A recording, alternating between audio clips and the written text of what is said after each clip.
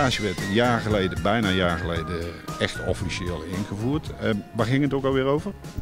Het ging erover dat een aantal taken die tot dat moment door Den Haag, het Rijk, werden uitgevoerd, overgedragen zijn naar de gemeente. Taken die te maken hebben met het aan werk helpen en verstrekken van uitkeringen voor mensen die tot dan toe zogenaamde waarjongers waren. Jong, een jonge uitkering omdat je gehandicapt, arbeidsgehandicapt bent. En het opheffen van wat we toen de wet sociale werkvoorziening, mensen bij de Veluwe noemden. En dat allemaal onderbrengen in één nieuwe wet en die noemden we de participatiewet. Het grote probleem is wel, eigenlijk zijn er twee problemen, is dat, het, dat Den Haag dat dan altijd laat vergezellen van een stevige bezuiniging. Dus de hoeveel, hoeveelheid geld die zij ervoor hebben, daar gaat ongeveer 40% vanaf. En pas dan wordt de rest verdeeld over de gemeentes. Dus we moeten met minder geld hetzelfde, of eigenlijk liefst nog meer doen dan men tot op dit moment in Den Haag doet. Dat is het ene probleem. En het andere probleem, en dat heeft met onderhandelen tussen werkgevers en werknemers te maken, is dat je dan toch weer ziet dat er allerlei schotjes tussen verschillende doelgroepen worden aangebracht. En dat betekent dat er um, uh, weer meer geld is voor mensen die uh, uh, nu nog in de waarjong zitten, waarjongeren. Um, weer een andere pot met geld voor mensen die nu nog een WSW-uitkering hebben. En weer een andere pot met geld voor mensen die in de bijstand zitten. Dat vinden wij als gemeentes heel onhandig. Het is besloten, we doen het ermee. Um, maar dat vinden we onhandig. Nou, dat zijn de twee bezwaren. Maar het basisidee ligt die verantwoordelijkheid bij de gemeentes neer. Prima. Nou, dan zie je dat wij een heel veel dingen snel en goed voor elkaar kunnen brengen. Maar dat we één probleem inderdaad nog wel hebben om met dat mindere geld net zoveel of liefst nog meer mensen aan het werk te helpen. Want dat is waar het om gaat. Dat is nog wel een hele opgave. Ten meer dat de groep tot nog toe groeit. Hè. We begonnen dit jaar met, zal het zijn, 3400 mensen in de bijstand. de teller staat nu op 3600 mensen in de bijstand. Um, de economie groeit een beetje, dus we hebben de hoop dat dat het komend jaar gaat afvlakken. Maar tot nog toe veel mensen in de bijstand. Het aantal WSW's groeit niet, want die regeling is, is uh, opgehouden.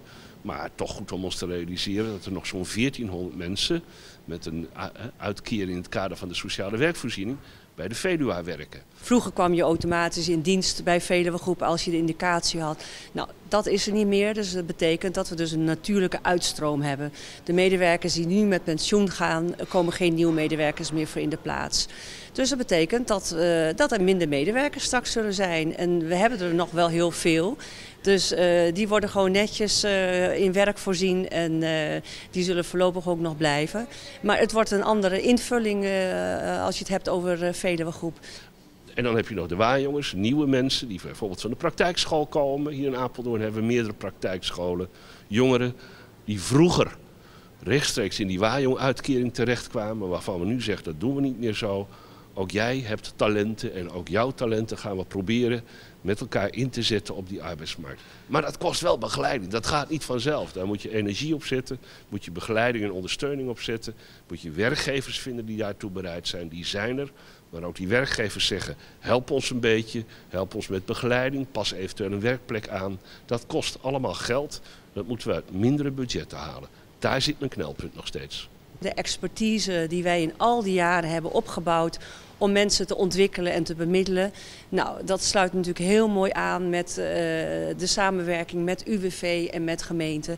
En uh, waar we op dit moment druk mee bezig zijn om daar toekomstplannen voor te maken. Om daar gewoon één loket van te maken. De Veluwa speelt daar wat ons betreft een belangrijke rol in. Je ziet ook dat de Veluwa en het Activerium, ons werkplein, onze sociale dienst, hoe je het noemen wilt dat die twee daarin steeds meer samen optrekken. Als ik zelf zo de toekomst zie, denk ik dat wij als Velogroep uh, onze expertise gaan inzetten voor mensen die dus echt een afstand hebben tot de arbeidsmarkt. Om vooral te kijken naar de talenten van deze medewerkers. En hoe kunnen we de talenten die de medewerkers hebben verder ontwikkelen, zodat ze dus kansen krijgen op die reguliere arbeidsmarkt. Het begeleiden van mensen met een arbeidsbeperking, ik zou bijna zeggen dat is core business van de Veluwa. Die deskundigheid, die expertise willen we gebruiken. En het grootschalig uh, mensen vanuit de bijstand weer richting de arbeidsmarkt brengen. Dat is een taak die de sociale dienst al sinds jaar en dag uitvoert. En wat mij betreft goed uitvoert.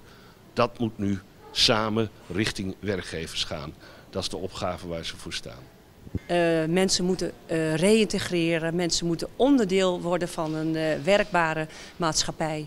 En dat is eigenlijk wel het mooie van de participatiewet. Dat je niet meer automatisch op een werkplaats komt en er wordt verder niet meer naar je omgekeken. Juist wordt naar je gekeken van hoe kunnen we jou ontwikkelen. Ik weet dat de directeuren daar volop mee bezig zijn. En dat wij nou, medio volgend jaar met een voorstel ook richting de raad kunnen om dat gesprek aan te gaan. En dat doen we maar om één ding. Namelijk zo efficiënt en zo effectief mogelijk met de middelen en de mogelijkheden omgaan. En gebruik maken van elkaar sterke kanten. Maar het is een behoorlijke taakstelling. Nou, dat kun je natuurlijk uh, niet alleen. En uh, dat is het mooie van het initiatief van Apeldoorn Scoort. We hebben namelijk uh, ambassadeurs bereid gevonden. En dat zijn klanten die dus al veel werken met onze doelgroep. Klanten van de gemeente UWV en van Veluwe. Die hebben we gevraagd om ambassadeur te worden van Apeldoorn Scoort. En ik zeg altijd maar, ik kan het heel goed vertellen aan, uh, aan werkgevers van nou, uh, om mensen met een afstand tot de arbeidsmarkt een werkplek te bieden. Maar niets mooier dat je het ambassadeurs laat vertellen die al heel veel ervaring hebben met onze doelgroep. Uh, wat ik ontdekt heb, en dat doe, dat doe je alleen maar door ervaring daarmee op te doen, is dat het juist meer dan gemiddeld gemotiveerde mensen zijn waarmee je werkt. En ik vind dat het altijd begint met motivatie. En op het moment dat je niet 100% productief bent of dat je niet over alle vaardigheden beschikt, uh, van ondergeschikt belang als het gaat om motivatie.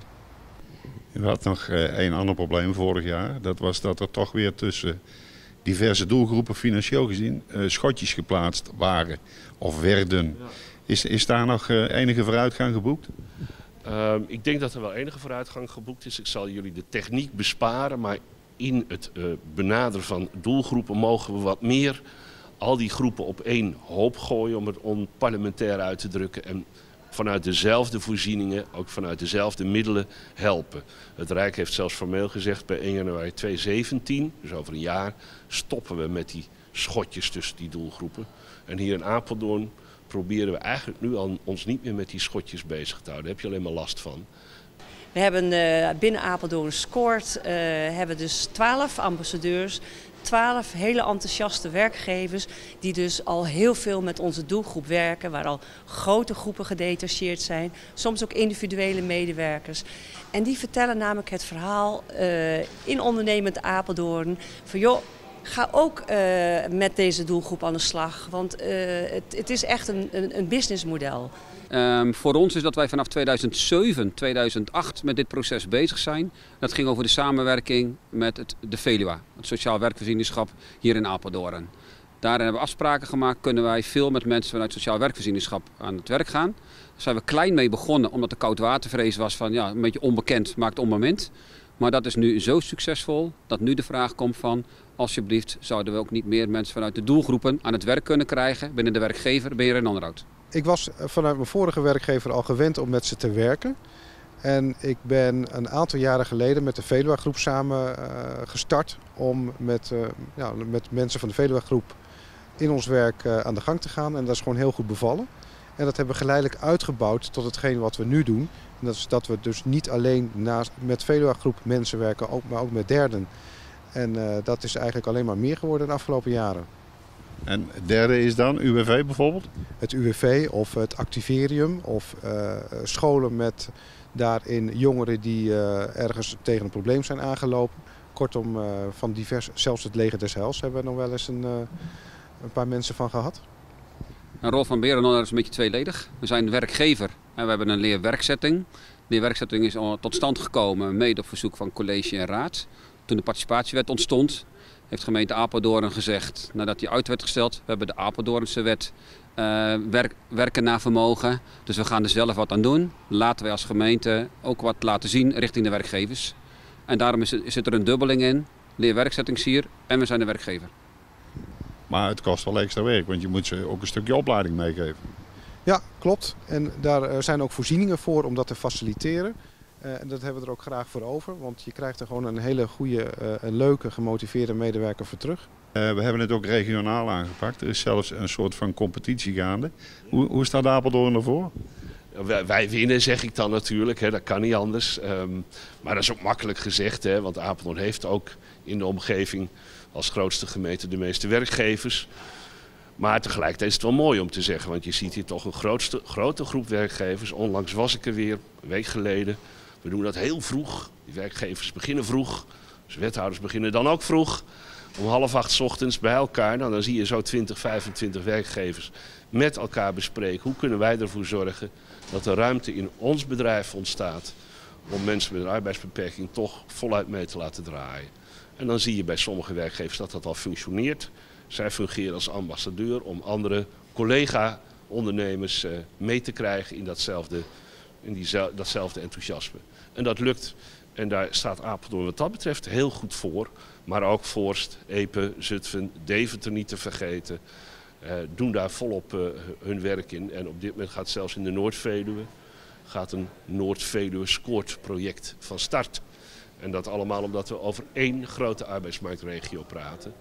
Want werknemers houden zich niet zo aan gemeentegrenzen. En ondernemers ook niet. Dus het is ook heel verstandig dat we dat regionaal doen. We zijn uh, vorig jaar zomer begonnen. De teller staat nu op 198 plaatsingen. En dat zijn uh, re reguliere plaatsingen. Dus nou ja, als wij als we die 125.000 moeten halen in 2026 en we gaan zo door, dan, nou, dan zie ik de toekomst goed tegemoet. Ja. 125.000 is landelijk. Uh, vertaald naar deze regio, wat, waar, waar, praten we dan over? Welke aantallen? Ja, dan heb je het over ruim 580 banen voor deze regio uh, die wij moeten gaan realiseren. Nou, we zijn er al een aantal jaren mee bezig, dus het doorstroom heb ik niet heel erg paraat, moet ik eerlijk zeggen.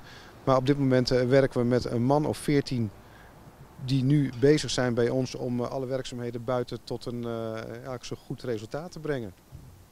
En we mogen stellen, dan eindigen we echt op een vrolijke noot tot wederzijds genoegen? De, volledig tot wederzijds genoegen, ja, zonder meer. Um, bij de leerwerksetting doen we nu zo'n twee jaar. We hebben verschillende soorten settings. Op groen, op horeca, facilitair, um, administratief. Dus er zijn verschillende soorten doelgroep mensen die ook bij ons binnenkomen. Maar het zijn met name mensen die in eerste instantie niet direct plaatsbaar zijn bij reguliere werkgevers als bedrijven, niet hetende gemeente Apeldoorn. En dan komen ze in een soort tussenfase bij ons aan het werk. En hoe lang zijn ze dan bij jullie en wat gebeurt er vervolgens? Het doel is voor ons zo kort mogelijk hier, om ze zo snel mogelijk bij een reguliere werkgever te kunnen plaatsen. Maar het zou kunnen zijn dat ze een paar maanden, zes tot negen maanden, bij ons aan het werk kunnen. En een enkeling met een jaarcontract. Maar daarna is het de bedoeling dat ze naar de reguliere werkgevers gaan. En daar stromen er steeds meer van uit. Dankzij de werkgevers die ons daarbij helpen. Kun je aantallen noemen? Ja, dat is prachtig mooi om te noemen. Ben ik ook, wil ik ook graag doen. Vorig jaar zijn er 35 mensen uitgestroomd naar reguliere werkgevers. De laatste cijfers die ik nu heb van 1 september is dat er al 45 mensen zijn uitgestroomd naar reguliere werkgevers. Wordt volgend jaar het aantal uh, klanten minder? Nou, ik las vanmorgen in de krant, ik wist het natuurlijk, maar het is altijd weer mooi om dat even in je krant en je eigen stentor te lezen. Dat we de afgelopen jaar 580 mensen die instroomden in de uitkering in Apeldoorn ook weer uit hebben gekregen met een plek op de arbeidsmarkt. Dat is meer dan het jaar daarvoor. Dat heeft ongetwijfeld ook te maken met de economie die langzaam maar zeker aantrekt. In de bouw zie je dat bijvoorbeeld heel sterk. Um, dus ja, ik, op dat punt ben ik optimistisch maar niet juichend. Je zult niet een enorme sprong voorwaarts zien, maar als we die langzame stijging van die uitstroom weten vol te houden met elkaar, dan zou ik dik tevreden zijn.